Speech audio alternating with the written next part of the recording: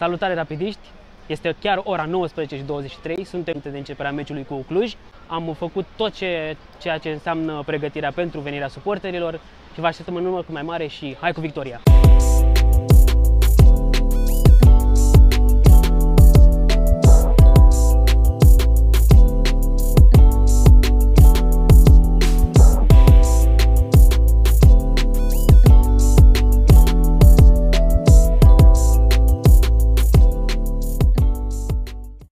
Alături de mine pe Daniel Carciuc, reprezentantul din partea clubului pentru programul de voluntariat al Rapidului. Cum a început toată povestea asta frumoasă?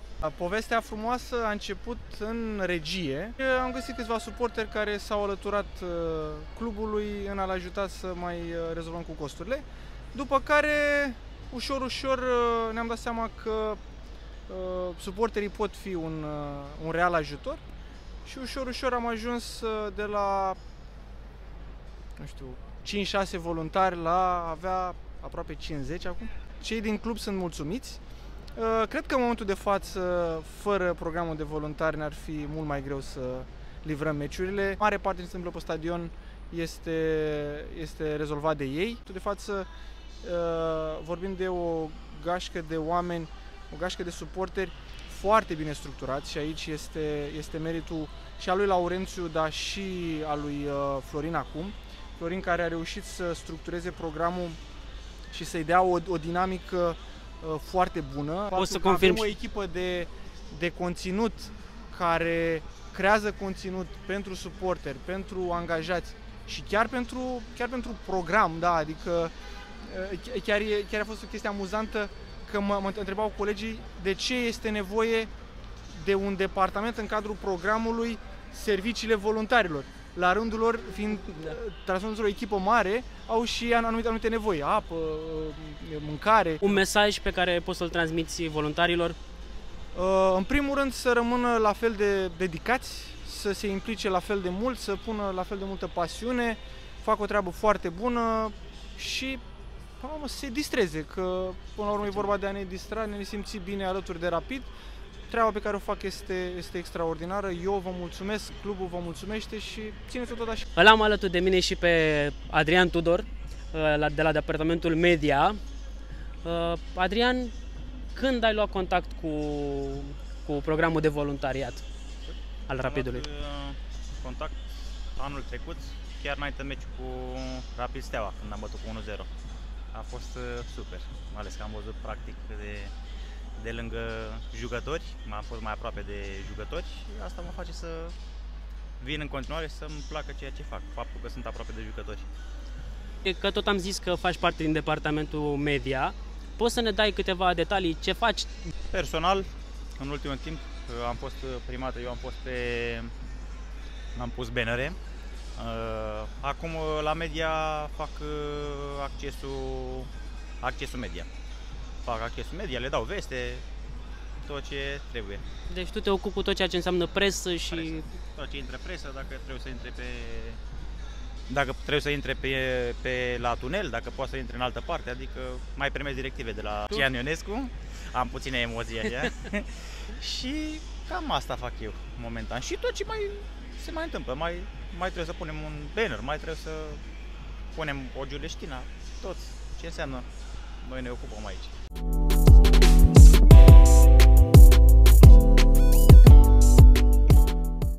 Ne dai și nouă, te rog, un pronostic pentru seara asta? 3-1 zic eu în seara asta.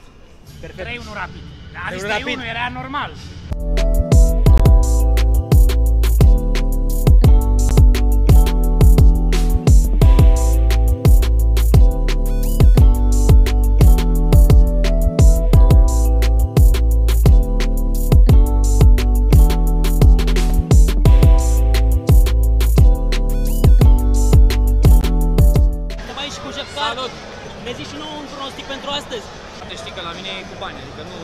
A zis 3-1, era normal.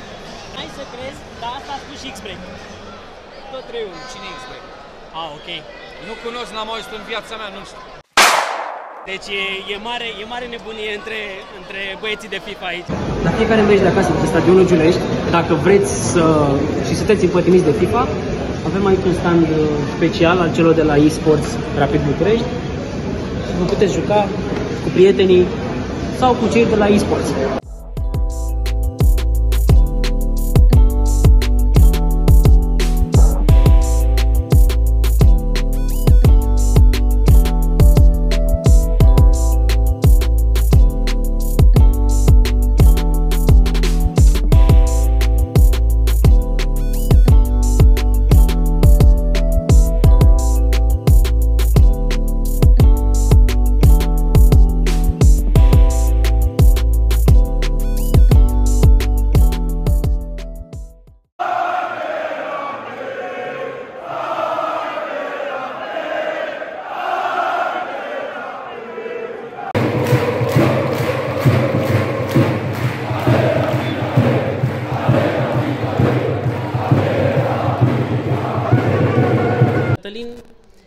Noi avem un program de voluntariat uh, prin care ajutăm clubul tot ce înseamnă înainte de meci. Cum ți se pare acest, această inițiativă a clubului?